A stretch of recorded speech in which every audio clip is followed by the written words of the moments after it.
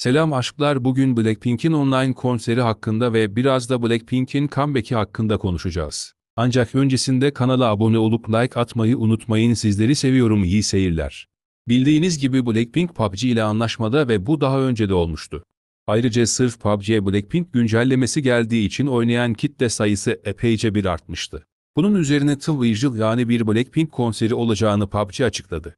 Bu konser ücretsiz olacak ve dünyanın dört bir yanından insanlar bu konsere gelebileceklerdi. Konsere ücretsiz bir şekilde bilet almak için PUBG Mobile'ı cihazınıza indirmeniz yeterli.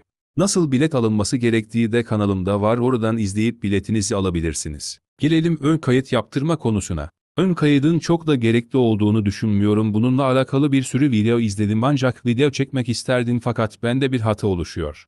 Yine de düzelirse video çekerim. Ayrıca YG'nin bunu yapması oldukça mantıklı bir hareket oldu çünkü grup yaklaşık 2 senedir birlikte şarkı çıkarmıyor.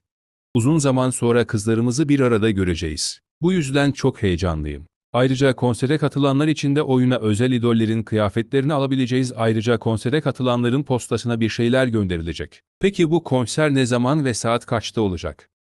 Kuzey ve Güney Amerika'da 22-23 Temmuz ve 20 dönük 30 Temmuz'da olacak. Kalanında yani bizim de içinde olduğumuz kesimde ise 23-24 ve 30-31 Temmuz'da olacak. Bilgilendirme videosunu bu kadar geç çekmememin sebebi saatini öğrenmeden bilgi vermek istememem. Ve bir Blink PUBG'ye saat kaçta olacağını sormuş PUBG'da yanıt vermiştir şimdi bakalım. Ve ilk konserin 23 Temmuz saat 15.30, 17.30 ve 19.21 saatlerinde olacağına dair bir bildiri paylaşılmış. Bence aşırı güzel bir konser olacak biletleri almak için hala süreniz var acele etmenizi tavsiye ederim. Ayrıca bana en çok sorulan sorulardan birini de bu videoda cevaplamak istedim. İzleyemeyenler konseri kaçıranlar için kanalımda konserin çekebildiğim kısmını sizlerle paylaşacağım. Umarım biraz olsun yardımcı olabilmişimdir kafanızda takılan soru olursa yorumlarda sorabilirsiniz. Ayrıca yeni bir açıklama yapılır ya da yeni bir bilgi gelirse de hemen sizlerle paylaşacağım takipte kalın sizleri seviyorum.